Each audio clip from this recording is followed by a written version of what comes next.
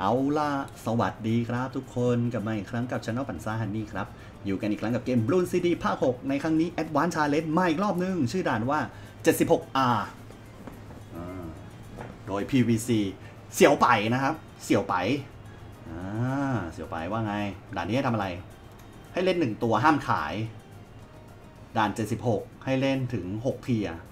มีเงิน 2365อุ้ยบลูนสปีดช้ามากเลย แต่อึดมากเลย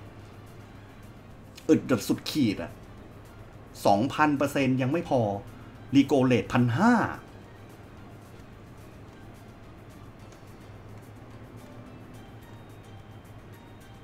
โอ้ ไม่ไม่ไม่ไม่ไม่เอ้ย เอ๊ใช่หรือเปล่า เราเจอชัยชนะแล้วหรือเปล่า แต่นี้ผมว่ามีชัยชนะหลากหลายรูปแบบนะ แต่ผมไม่รู้ว่าบางอย่างเงินมันไม่ถึงไงเอาเอาทีละตัวก่อนนะ เพราะว่ามันจะถูกจำกัดด้วย tier มันให้เราเล่นได้สูงสุดแค่หก tier ครับก็คือเราวางไปหนึ่งทีเนี่ยเน้นเรียกนับเป็นหนึ่งแล้วนะอย่างเช่นอย่างเงี้ยวางปุ๊บนับหนึ่งละ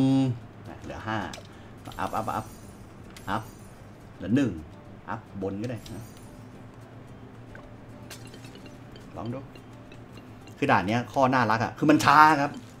เราจะค่อยๆ เอาเจ้าเนี่ยจับไปทีละตัวทีละตัว ทีละตัว ทีละตัว ทีละสองเลยด้วยซ้ำไม่ใช่หนึ่งทีละสองทีละสองมันรีเจนไม่ได้แล้วค่อยๆจับ แต่ถ้ามันพังออกมาเมื่อไหร่อะ มันก็จะเจอของจริง เออ นั่นแหละแย่แล้ว อีกทีนึง จับข้างหน้าแหลก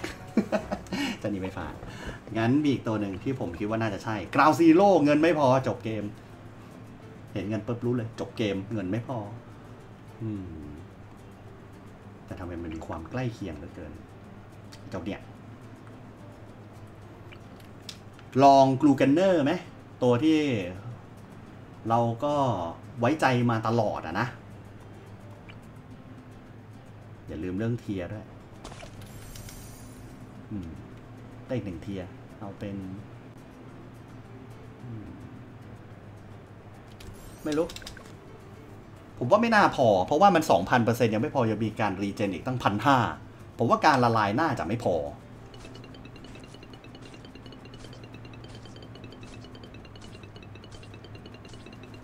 ไม่พอ คือถ้ามันพังอะ พอ แต่มันไม่ มัน มัน มันมีเวลาในการแปะน้ำยาไม่ ไม่หมดไง คือเทียมันหมดก่อนครับ แล้วนี่เป็นหัวโค้งด้วยสิ มันน่าจะทำแบบ ไม่ง่ายอย่างที่คิดแฮะ เพราะเราถูกจำกัดด้วยเทียร์ มันต้องมีใครที่แบบว่าต่อสู้กับเซรามิกได้ดีมากๆ จริงๆ เจ้าเนี่ยมีมีโอกาสนะสำหรับผมมีโอกาส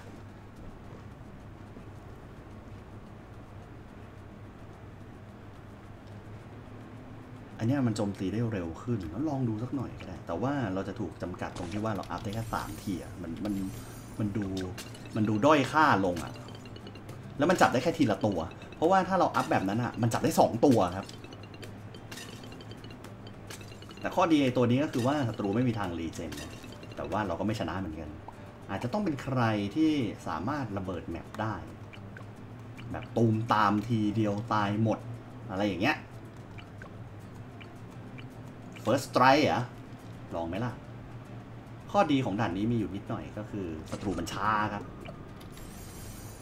อืมก็แอบน่ารักละมั้ง ลองดูเฉยๆนะ แต่ผมไม่รู้ว่ามันจะมันจะบึ้มได้หมดหรือเปล่า ผมว่าใช้ตรงทางโค้งน่าจะดี มันดูแบบอัดแน่นนิดหน่อย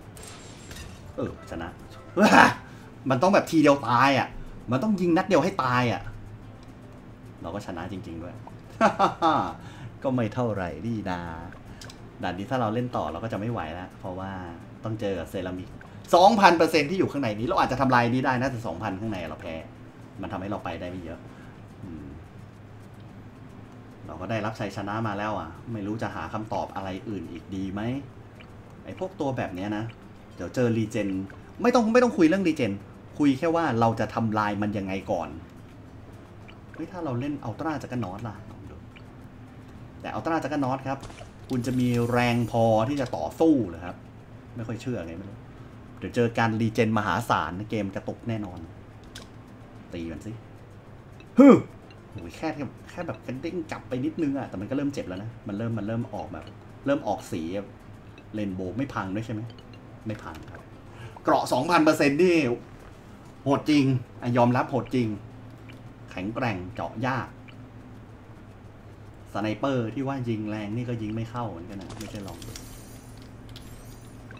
นะได้ยินเสียงแป๊กนี่ผมรู้แล้วได้ยินเสียงแป๊กไปรู้เลยว่ามันยิงแล้วเดี๋ยวไม่พังครับเฮ้ย แต่ถ้ามันยิงพังก็คือได้อยู่อะแต่มันยิงไม่พังหรอก แล้วมันก็มีโอกาสที่จะ regen ด้วยเอาเป็นใครอีก เราเจอคำตอบไปละ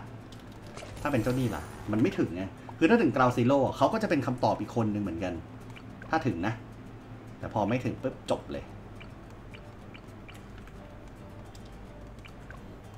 ไอ้เจ้าตัวเนี้ยไม่ได้อะมันมันมันกำหนดจุดไม่ได้ ไม่ได้ อ้เจ้าเนี่ยมันก็แค่เฮ้ยถ้าเป็น ผมว่าไม่น่าได้ เพราะว่ากล่องมันอะแป๊บเดียวก็จบเพแล้วถ้ามันเจอแบบเนี้ย แต่ลองดูก็ไม่เสียหายลองเล่นๆอยากรู้ ผมว่านะมันเข้าปุ๊บแค่ไม่กี่ตัวกล่องเต็มเลย แบบเข้าไปแป๊บหนึ่งแบบพังเลย พังเลยครับ กล่องเดียวเท่านั้นแหละ ปังตัวเดียวเต็มเลยครับ ไม่ได้ได้แค่สองกล่องไม่พอ ก็คำตอบก็น่าจะชัดเจนไปที่หนึ่งตัวนะเรือดำน้ำไม่ไม่น่าไม่น่าจะมีตัวอื่นละ คือเราไม่มีทางที่จะสู้การ regen ขนาดนั้นได้ในรูปแบบที่ตรงไปตรงมา มันต้องมันต้องใช้ skill ทำลายในทีเดียวเท่านั้นอะ